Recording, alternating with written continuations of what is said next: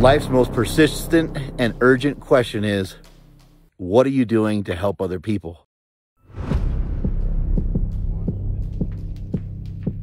On this day, I'm running this hill. It's a monster of a hill, and I'm doing it so I'm right with me.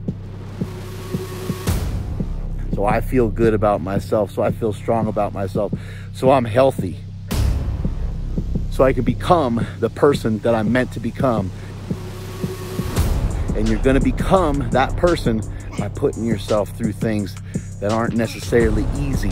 It's things that are just a wee bit harder than what you've experienced in the past. Remember, the greatest respect you'll ever earn in this lifetime is called self respect. Strength is never weakness, weakness is never strength.